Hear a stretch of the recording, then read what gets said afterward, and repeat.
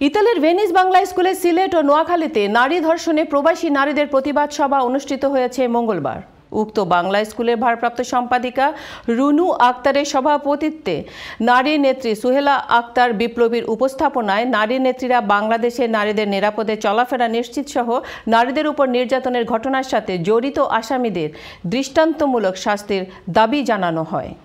অনুষ্ঠানে বিশেষ অতিথির বক্তব্য রাখেন ভৈরব সমিতি ভেনিসের মহিলা সম্পাদিকা মদিনা মোসাম্মদ, মহিলা নেত্রী সোনিয়া ইসলাম, আফসারি খানম রিক্তাসহ অনেকে।